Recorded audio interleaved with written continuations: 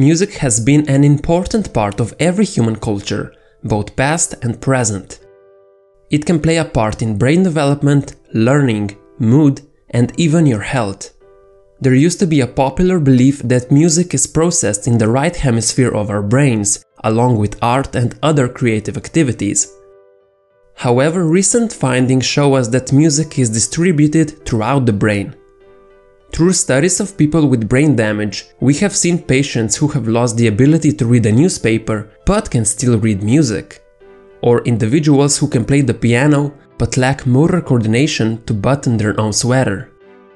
Today we know that music listening and performance engage nearly every area of the brain that we have so far identified. One of the most common effects music has is that it can alter our mood and feelings by stimulating the formation of certain brain chemicals. Film directors use music to tell us how to feel about scenes that otherwise might be unclear or elevate our feelings at particularly dramatic moments. Think of a typical fight scene in an action film.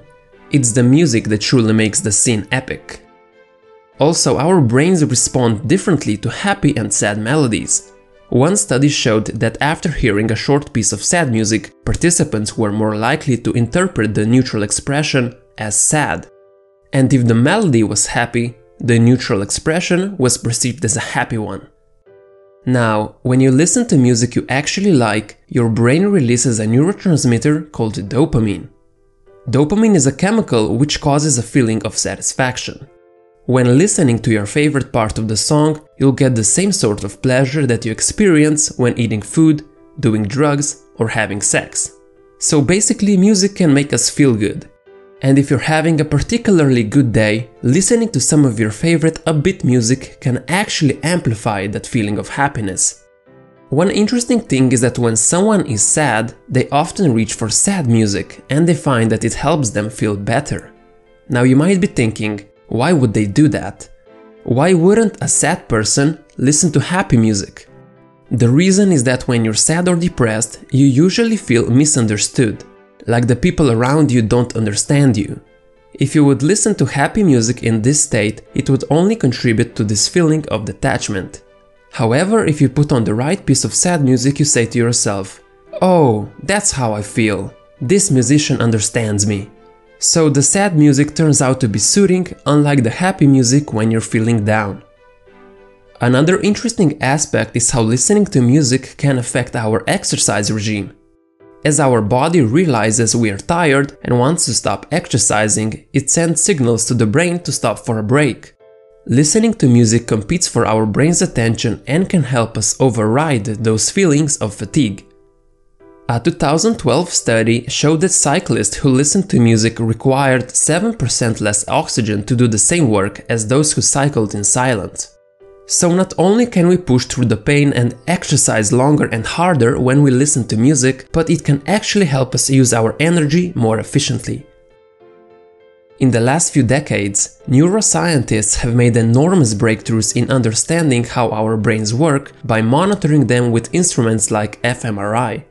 So when researchers got the participants to listen to music, they saw multiple regions light up.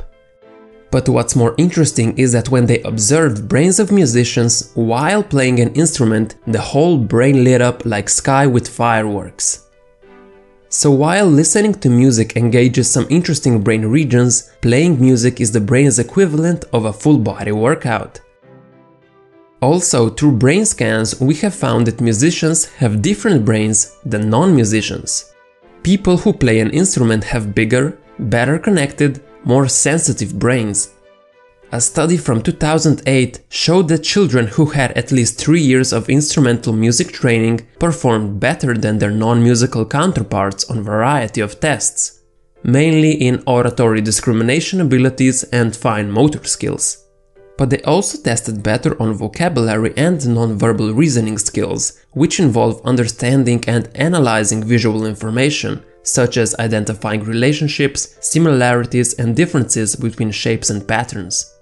These two areas in particular are quite removed from musical training as we imagine it, so it's fascinating to see how learning to play an instrument can help kids develop such a wide variety of important skills.